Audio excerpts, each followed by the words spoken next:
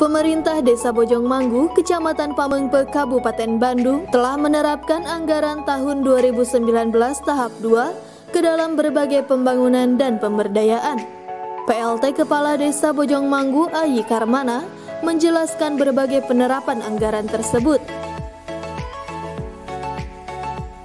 Pencairan ADPD tahap 2 dilaksanakan infra, infrastruktur berbentuk pertama rutilahu uh, gang uh, selanjutnya TPT makam sepanjang 20 meter hmm. Di antaranya dari Raksa Desa dialokasikan untuk pembangunan rehab Rutilahu. Aspirasi melalui Raksa Desa, ya.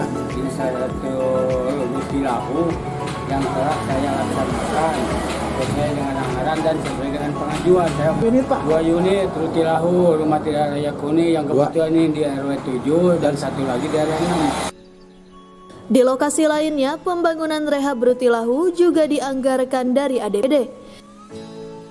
Dari dana desa. ADD. ADD.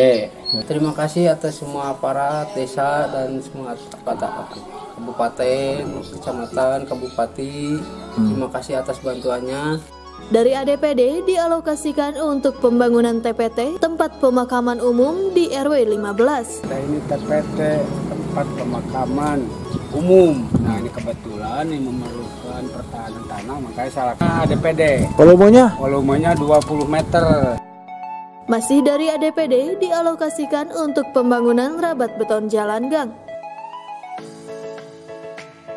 Juga untuk gang rapat beton sekitar 140 meter yeah. yang dilaksanakan di RT 3 RW 5. Tahap 2 ya. Tahap 2. Saya mengucapkan banyak terima kasih kepada pemerintah pusat yaitu Bapak Bupati yang di, di dijemput oleh Bapak Kepala Desa Bojong Mangu, Bapak Haji Adang Ropa. Hmm. Saya ucapkan juga terima kasih sama beliau yang mana beliau sudah memaparkan pembangunan gang anu sepanjang 145 meter. Terima kasih Bapak Kepala Desa Bojong Mangu. Dan dari Bandung dialokasikan untuk pembangunan hot mic jalan dan program Sapa Warga pembagian handphone kepada Ketua RW.